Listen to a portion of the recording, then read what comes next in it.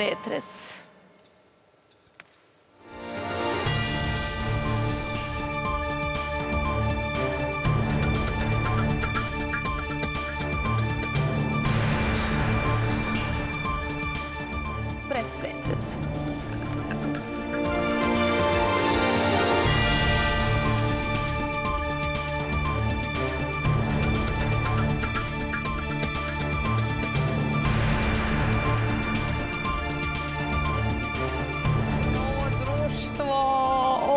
Jutra, čekaj, sportisti, analitičari, blažena među muškarcima, ceo život umem lepo s vama tu da vas nekako kanališem u kontekstu naravno ovih tema kojima se bavimo. Čak i malo kada mi odete u crveno u nekom kontekstu sa različitim stavovima, opet se nekako nađemo na sredini i to je dobro. Ovoga jutra sa nama, evo da kažem, Centar za društvenu stabilnost, Milan Čavić, Aleksandar Grubešić, Aleksa, Aleksa, Aleksa Grubešić, Davor Štefanek. Tako je. Po prvi put. Tako je. Kod mene. Tako je, tako je. Pričat ćemo se, pričat ćemo i u sportu. Naravno. I Stefan Srpljanović.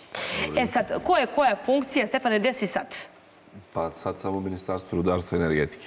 Jesi zadovoljan? Prezadovoljan. Slušaj, znaš šta ja volim? Ja volim kada e, e, ljudi koji su bili, koji su dolazili redovno jutarnji, ostvare neke svoje ciljeve. To je lepo. Ja volim kada ljudi napreduju i negde to je sve naš zajednički uspeh i radujem se i drago mi što si zadovoljan, što si se ti tu snašao. I posebno kad nastave da dolaze, to si u jednoj emisiji rekla, neki kada dobiju funkciju više nikad se ne jave. E, a ne, jave se, znaš kad? I kad vide da će polako da im nestane ta funkcija i opet im treba Jovana Jeremić da ih vrati u život. Jer, znaš kako, ljudi valjda razmišljaju to od danas do sutra. Ja nikad... Ja nikad da. Oni to su ti ovi uh, igrači na 100 metara, trkači na 100. Ja sam uvijek bila maratonac. Ja nekako sam ulagala u ljude, treba da trajemo. I treba da im uvek bude u malom mozgu to da dolaze u najgledaniji jutarnji program u Srbiji. E! Ja, šta je ovo, Jovana? Izvoli, Čaviću, sad izvanično. Šta je ovo, molim te, može da uvećeš da vidimo svi šta je to? Sad će opet da me prozivaju kako ti je musava ova nagrada, kako to nisi izglancala. Što sad hoće da dodijeme. Neka je dobi tako nagrada. Čekaj, najgledaniji jutarnji program, vidi, uh, stvarno, bilo je, bilo je onako impozantno, fenomenalno je bilo u Odeonu na dodeli nagrada. Ja... I emotivno i... E, kad su me pozvali e, da dođem za to veče, ja nisam smela ništa da komentarišem, jer mi je bilo glupo. Sam mislim, istočim pre vremene, ne dobim ništa. I ja sam mislila, u smislu, svako će dobiti tu po nešto, u smislu da će to više biti kao neko revijalno veče, međutim, kad smo mi otišli na dodelu, ja sam shvatila koliko je prestižna ova nagrada. Jer je samo nas pet dobilo u okviru Pink e, kompanije, znači pričam Pink medije grupe televizija, ovu nagradu. Nagradu su dobili Sanja Marinković, koja je, mislim, legenda Pink televizije, Ognjen Amidžić, koji je legenda Pink televizije, Nemanja Vujčić, moj kolega, koji je mladi, najmlađi dobitnik ove nagrade e, iz premijere za show biznis, zatim Goran Gmitrić, glavni odgovorni urednik informative, znači govorimo o ozbiljnim imenima, I tu se nađe Jovana Jeremić. Kako i kojim čudom Jovana Jeremić tu, dakle, za najgledaniji jutarnji program. Mislim da su rezultati, naravno, presudili šalu na stranu. I ovo je najvažnija i najznačajnija nagrada u mom životu. I želim da se zahvalim uh, moje kući, Pink televiziji, Pink Media grupi, Željko i Milici, koji su negde prepoznali moj rad i zalaganje. Uh, ja stvarno svaku emisiju kada vodim, ja je vodim kao da mi je poslednja i kao da sutra više ne postoji i dokle god tako mogu da se ponašam, govorit ću i radit ću, jer prosto gledalci Pink televizije stvarno zaslužuju samo najbolje. Tako da, ostvarila sam se u ovom smislu. Uživo sada, zaista zasluženo i nadamo se da će da nastaviš tradiciju kao najgledaniji jutarnji program dugo, dugo, dugo godina. Jer ovo je nagrada, nije, ja uvek kažem, ja, sam, ja nisam samo voditelj i to je za mene usputna stanica u mom životu, prevashodno urednik, a onda novinar, pa tek na kraju voditelj. Voditeljstvo je posledica rada iza kamere. Samo tako nastaju velike zvezde. Apropo svih ovih novih generacija koji dolaze, devike samo hoće da se slikaju, to ne ide tako.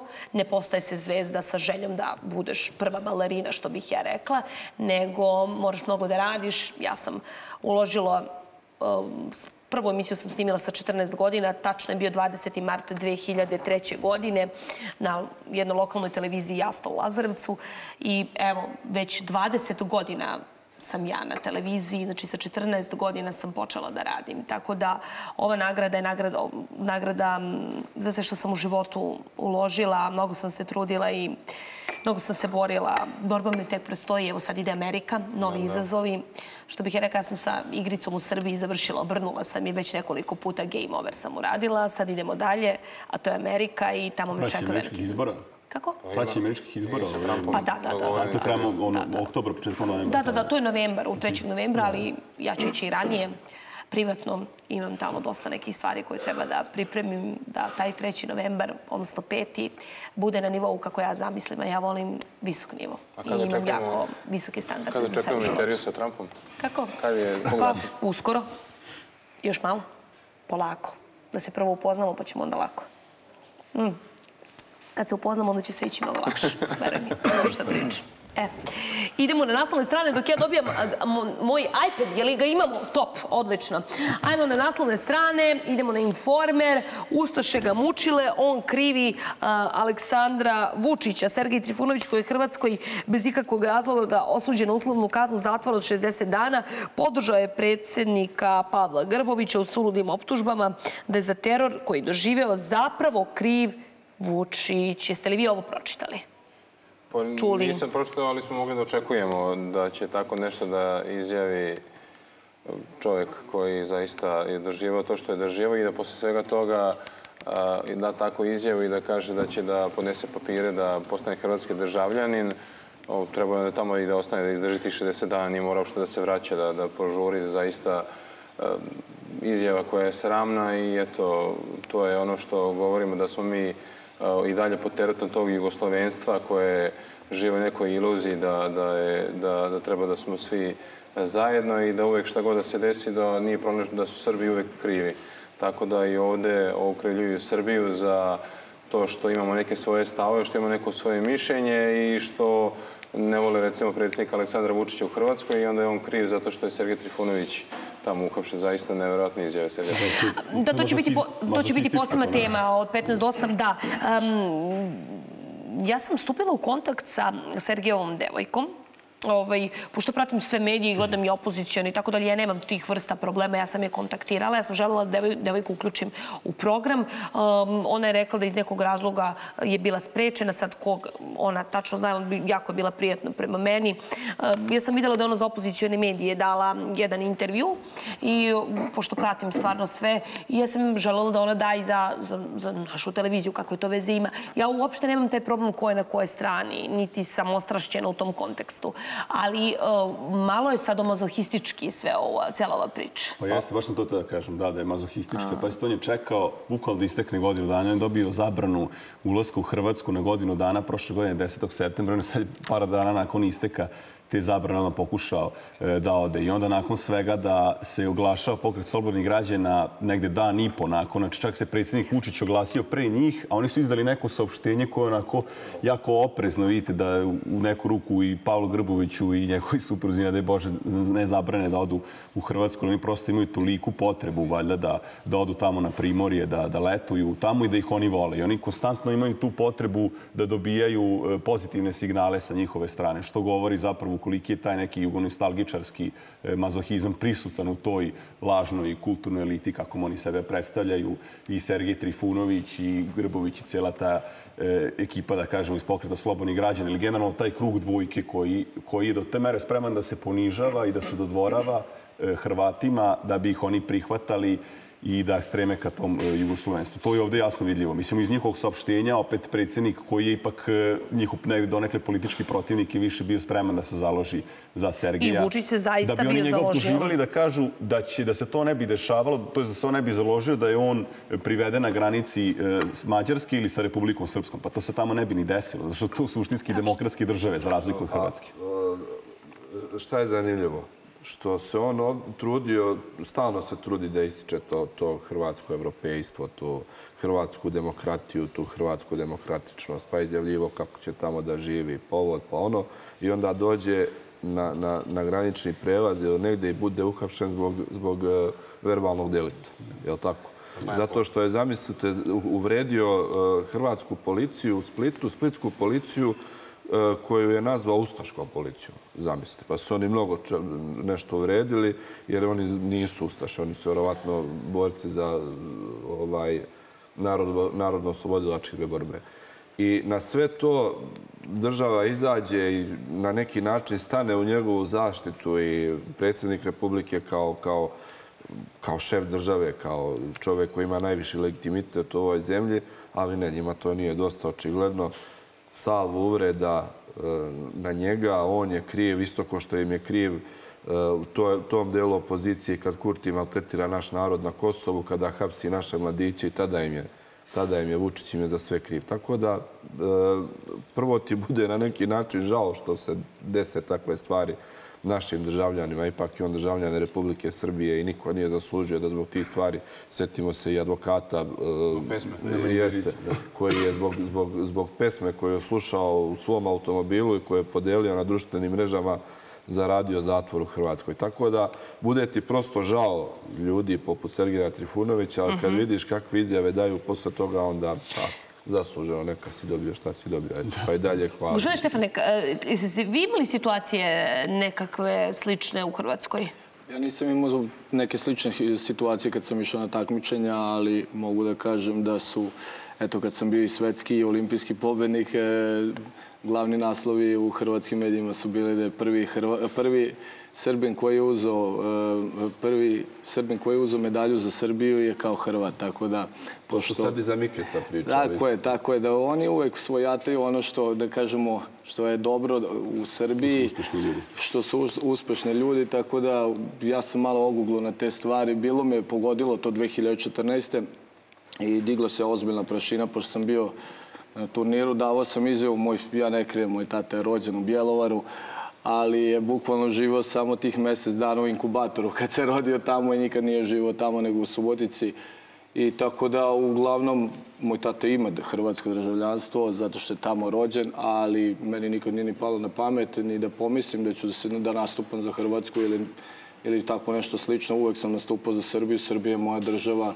Meni je Srbija sve dala da, da mogu da se bavim lepo sportom i ja mislim da se najbolje vratio rezultatima i uvek ću stajati uz ovu zastavu koja je iza tebe i grb i nosim ga u srcu i tako se i osjećam i tu živim i nikad se ne mi ni ocelio odavde. Da, ali baš onako nekako situacija koja je ipak na nečiju dobrotu i na nečiji, da kažem, požrtvovanje i zalaganje. Ne razumem ovakve reči. Prosto je to onako nekako mi nije hrišćanski. A verovatno hoće čovjek da bude u centru pažnje, ono pati, verovatno... A zašto takve načini? Pa, Znaš, uvijek sam se pitala tako ljudi kada hoće da privuku pažnju, neka to bude neki show, neka bude genijalnost, ali neka ide na dobro, ne na neko zlo. Ja me razumeš šta hoću da kažem, da. Ali dobro. Izgleda to isparilo iz njega, što bi se rekao. Ali ja mislim da on nije digao dovoljnu prašinu time i onda je želeo da dođe do izražaja, zato što se niko, bukvalno, sem Pavla Grbovića, čije on je, on je šef stranke. Ali ovaj ostatak opozicije, oni su davno digli ruke od njega i on od njih. I onda kada je izjavio ko drži glavne poluge vlasti u tom delu opozicije, ko finansira, ko je glavni šef, tog momenta je ušao u nemilost, pa je onda pričao kako je cenzurisan na jednom Da li ne želim da se konfrontiraju zapravo sa Hrvatskom? Tako je. A, a moguće da je to. Mađarsko je to učinjeno, oni bi odmah napali Orbana da je fašista, napali bi Mađarsku, da je, pošto ona inače kao parija tobože Evropske unije, a pošto je Hrvatska ipak protežirana od strane Brisela i to oni imaju taj inferiran položaj prema, prema Hrvatskoj, oni žele da ih tamo vide u Zagrebu, afirmativno, tako je. Ne daj Bože da se to njima desi, svi oni vole da letuju i, i u Dalmaciji, i na Istri. Da. To bi bila tragedija teška da se, da se u krugu dvojke zabrani. Ovaj, Danas izmenu saobraćaju do 16 časova. Detaljan plan gradskih linija na našem portalu ping.rs s obzirom da će biti od 11 vojni prikaz vežbe Vojske Srbije zastava 2024 u Batajnici. To će danas biti, da kažem, dešavanje dana. Početak 11 časova, saopštile služba za saradnju sa medijima predsjednika Republike. Tako da ćemo imati priliku da vidimo kako izgleda e, naša vojska. Toliko se priča o tome, o povratku vojnog roka. Zatim vrši se, da kažem, jedna obstrukcija povratka u kasarne. Ko to radi? Šta mislite? I s kojim ciljem? Ko je da služio vojsku? Ja nisam bila ukinuta kada sam trebao Stvarno? tako da nisam. Vi ste znači generacija koja nije služila vojsku. Vidio sam, vidio da rekli da vidiš i ti. Zato ste... Ja, ja sam rekla, evo... Vidio sam, pročitala sam jutros. Evo, Vučićević mi je stavio na naslovnu stranu. Rekao je sljedeće, kaže, idem u vojsku, bit ću komandant. Jovana Jeremić izjavila, jesam. Pitali su me i možda ću taj eksperiment i da uradim da odem na 75 dana, samo ne znam ko će da vodi jutarnji, kome moje čedo da ostavim na 75 dana, hoću da patim onda 75 dana da ne vodim jutarnji. Pa vidi. Idemo zajedno, pa će biti analitičari tamo. Ne, Deja je imala dobru foru, pošto smo sad bili na Gatsby party kod eh, Željke Milici, sad dolazi Deja i kaže uh, koleginica, slušaj Jovan, razmišljala sam nešto, ja kažem, kaži Deja šta. Kaže, Pa da uzmemo sad kameru i samo se prebacimo ovamo u ovaj deo, da, deo zabave i već imamo jutarnji program. Svi ovi naši jutarnjaši su stigli na zabavu i tu su. Tako da, eto, nikad se ne znam. E sad, šta imamo još danas u novinama? Izraelci pokrenuli novu eru terorizma. Jevrijska država pager bombama šokirala planetu i otvorila Pandorinu kutiju. Aleksa. Aleksa. Mene je li ovo percipirate kao najvećeg stručnjaka za bliski istok. Apsolutno, apsolutno. Pa, vidim, stvarno smo imali prilike da vidimo nešto što možda do sada je neviđeno zapravo negdje u istoriji ratovanja i sukoba, a to je da se desilo sve isto vreme aktivira oko 3 do 5 hiljade 5000 pagera koje su ušle kao sredstvo komunikacije borcima Hezbolaha. I to je zapravo negdje bio E, E, to je bio način da se i otkriju ljudi koji su deo Hezbola. Vidite, ono što je stvar kod e, Hezbolaha kao jednog pokreta, jednog šireg pokreta koji je verski i politički, ali i vojni jeste da je uvek e, bilo priča o tome da se ne zna ko su zapravo komandno rukovodstvo, ko su njegovi članovi i da članovi mogu da budu svi pa i zaposleni u određenim državnim institucijama i samim tim smo mogli, imali prilike da vidimo da su bukvalo ljudi koji su bili po marketima ili na svojim radnim mestima, da im je aktiviran taj pager i da su oni samim tim ranjeni. Međutim, još se nije naravno otkrilo na koji način su oni izvršili taj e, prodor. Dakle, to je bio neki softverski napad, da kažem, koji je uradio mhm. Mossad i stvarno je ovo nešto što, što, što je neverovatno za sad do, do sad neviđeno i vidjet ćemo u nastavku e, kad bude se još e, otkrilo zapravo, kad budu svi detalji otkriveni vezano za, za ovakav napad, ali ono što Hajmo. jeste sigurno je da bi mogo da izazove, da kažem, možda i neku širu eskalaciju je samim tim se očeku, očekivao se i do sada odgovor Irana na onaj prethodni napad Izrela i na njihovu ambasadu u Siriji i na vođu ovaj, Hamasa Ismaila Hanije, a ovo će možda još samim tim i ubrzati E, odgovor Irana, pošto je Hezbollah naravno njihov proksi negde, dakle njihova organizacija koju oni samim tim finansiraju, obučavaju, kojim služi za obračun sa Izraelom e, na, na jugu, jugu Libana. Da li sad očekujete još veće zaoštravanje, da kažem, sukoba? Pa sigurno. Sigurno će to zaista da digne tenzije do maksimuma i zaista može da otvori kompletno kopljenu operaciju na, na Libanu, da, da zaista udari jedne na druge i to će ide sve ka tome, jer zaista mislim da neće ostati e, nemi, da će, da će sediti skrštenih ruku na, na ovo. Ovo je zaista isprovociralo e, ovaj potez i taj potez, e, kako smo čuli od nekih stručnjaka koji se bave IT tehnologijom, da takva tehnologija i to može da se koristi i za mobilne telefone za, ili za bilo šta drugo, da na taj način da se dese i da baterije u telefonima mogu tako na taj način da eksplodiraju, tako da i tekako to što su radili ne može da ostane skriveno, nego će da i ostale službe i ostali sistemi da uzmu e, taj model i da možda nekad to primene, i što uopšte nije za zahvaljenje. Da. E sada, na naslovu strani dnevnog lista Alo, policija je demontirala novu platformu za komunikaciju narkokartela. Nakon što je provaljen Sky, kriminalci su prešli na novu aplikaciju na kojoj su se poruke odmah e, samouništavale. E, majka nestalog navijača Zvezde, Nemanja Arsenovića, kaže, vračarci su mi oteli sina nova, da kažem, aplikacija, taj duh? Pa dobro, vidi se stvarno da... O tome ćemo vrlo detaljno pričati. Mislim, da, verujem da ćeš imati posebnu temu, ali stvarno MUP u poslednje vreme radi, radi dobar posao i ulaganja su malo ne u svim sektorima. Ja sam sinoć bio na svečanosti povodom sektora za vanredne situacije u Novom Sadu. Zaista e, i opremljenost tih ljudi je na zavidnom nivou. Njihova stručnost također ništa od toga ne bi bilo bitno da, da, da oni ljudi nisu takvi kakvi jesu. E, čuo sam podatak da su za 15 godina spasili 30.300 života. Mislim, što je zaista dovoljno govori i o njihovom požrtvovanju i sučnosti. To su ljudi koji, koji osvetlaju obraz Srbije gde god se nalaze. Bukvalno bili su po misijama i u Turskoj, i u Albaniji, i u Makedoniju. Kad god je neka krizna situacija, setimo se MUPA, setimo se sektora za, za, za vanredne situacije, tako da s tim u vezi i to, ta nova aplikacija koja je nabavljena i koja se koristi za, za sprečavanje tih kriminalnih komunikacija, linija komunikacije svakako ide u prilog većoj bezbednosti građana i doprineće tome da ovo društvo svakako bude, bude što bezbednije i e, sigurnije. Na naslov strani Srpskog telegrafa e, donako interesantan e, naslov šok papiri o Đilasovoj saradnici, čudne isplate u druženju iz Renjanina dok je bila na funkciji e, u Vojvodini. Marinikin, sad, Marinikin sek za početnike dala 5,1 miliona za fantomski projekat. O čemu se ovde radi, da? Po ničemu se ne radi, jednostavno. To je mhm. bio kao neki program udruženja koje bi se bavilo edukacijom to jest ovih kažem, generacije koje su stasavaju kao pubertetlije i to je e, bilo predviđeno za decu srednjoškolce. I naravno taj projekat nikada nije ostvaren, nikad nije realizovan, samo su transferi realizovani i sama izveštaj tih udruženja da su oni imali tribine i sve to ostalo je naravno bila imaginarno, ništa toga nije postojalo, sve je urađeno fantomski, ali sredstva su bila stvarna. Tako da jedino što od toga navedenog jeste da su ta sredstva od strane pokrajine, sekretarijata za sport, legla na ta udruženja, a nisu opravdala ono zašto su dobijena. I to možemo dalje da implicira da su tu, možemo samo da kažemo, oprana sredstva.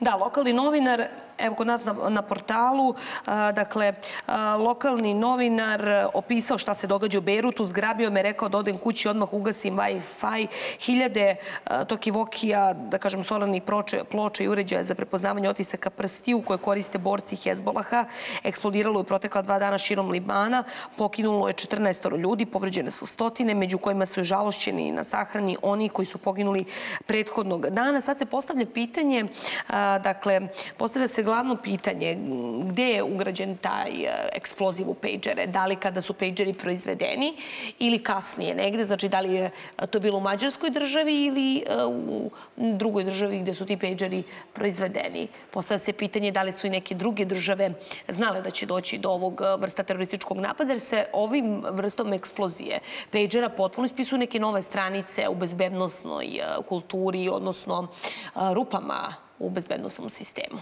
Samo se priča sad ovim pagerima i o atentatima na Trumpa. Da, pa to dovodi pitanje u budućnosti i od koga ćete nabavljati opremu, zapravo čiji ćete opremu E, koristiti sredstva komunikacije. Međutim, gde se dalje, čini mi se, ne zna da li je u pitanju sam eksploziv, da li postoje konkretno neki eksploziv u okviru tih page ili se radi, kao što je e, sagovornik rekao, Čavić rekao, o bateriji gdje je došlo do pregrevanja i oni upadom u softverski sistem da mogu da izazovu to pregrevanje određenog uređaja kako bi došlo do, do eksplozije. Nisu još otkriveni detalji na koji zapravo e, način su oni to učinili. Međutim, tu se vidi zapravo i ta negde sposobnost Mosada, koliko je to jedna ozbiljna obaveštena služba koja može da izvrši jedne ovake revolucionarne operacije i da učini nešto novo u, u sferi, mislim, ovo sad bi neko nazvao možda i terorizmom, mm -hmm. međutim, iako mnogi nazivaju s druge strane Hezbollah terorističkom organizacijom, ali prosto ovo je očigledno za njih, za Izrael, između ostalog ratu kojima je njima negde sve dozvoljeno, sva sredstva, pa i, i ovo je jedan način na koji oni pokušavaju da se e, obračunaju sa Hezbollahom, ali ipak je njima cilj uništenje te organizacije koje oni smatraju pretnjem za svoju državu. Ali opet, kao što sam rekao, ona jeste jedna militantna organizacija koja e, služi kao proksi zapravo posrednički Iranu kako bi se obračunavao sa samim Izraelom. Iran se nikad direktno ne konfrontira e, sa Izraelom, već jednostavno preko svojih raznih šiitskih E sada, na naslovnoj strani e, dnevnog lista Kurir, e, pre vesti, evo da, e, da to spomenemo, pa ćemo se vratiti i na to da Srbija od Evropske unije dobije 1,58 milijardi evra. Vučić iz Brisela o planu rasta za Zapadni Balkan. Dakle, naslovna strana dnevnog lista Kurir poplave. Zapravo taj plavni talas u Srbiji uhvatio zalet. Nećemo obezbedni. Oćemo li? Da, zato što korito Dunava na naše teritorije malo šire i, i također od 67. godine imamo izrađene sisteme, to je nasipe, tako, tako da doće tu negde do granice između redovne i vanredne odbrane od poplava visine, tako da ne trebaju građani da strahuju i vode Vojvodine i Srbija vode to sve drže ovaj, pod kontrolom, prate se i te ostale kanali, kanalske mreže, tako da prema tome zaista bio sam pre dva dana baš na sastanku u pokrajini u vodama Vojvodine i zaista je sve pod kontrolom. Nivo Dunava kod Apatina prešao je 5 metara, sledeći na udaru Bezdan i Novi Sad, veći poraz Dunava u narednih 7 dana, potup u centralnoj Evropi, cijelo je mađarski premijer Viktor Orban digao vojsku, voda je došla čak do parlamenta, neverovatno. Ali niko to nije iskoristio od njihovih opozicijalnih stranaka da napadne vlast, da je nesposobna, da kaže kako su betonizirali pola Evrope, pa nema gde da se slije voda i ostalo, već se svi uhvatili u koštac sa problemom i trude se da iz cijele situacije izađu na najbolji mogući način sa što manje žrtava, sa što manje štete. Što, nažalost, složit ćete se, kod nas nije situacija. Kod nas je situacija uvijek takva da kada god je neka krizna situacija, kada god imamo neki problem, kada god je neka tragedija, imate s druge strane opoziciju, onu koja trenutno nije na vlasti, one snage koje trenutno nisu na vlasti, koje su spremne svakog trenutka da udare na državu, da optuže državu kako je nesposobna. Sećamo se 2014. šta su pričali, šta su radili, koliko su tada bili glasni u svojim e, izjavama i svojim optužbama na račun države, da je malte ne vlast koja je u tom momentu bila vlast Srpske napredne stranke kriva, što je tolika količina kiše pala, pa je poplavila i Obrenovac, ne znam ti šta. Verovatno je sada e, tamo kriv i Orban i u Slovačkoj, i u Poljskoj, vladajuće garniture, u Austriji, u koju se zaklinju kao, kao evropsku zemlju. To je, nažalost, naš, naš neki usud da smo uvek, uvek se delimo, nikada nismo jedinstveni. Idemo na najvažnije vijesti zemlje i svete, vraćamo se u pres pretres.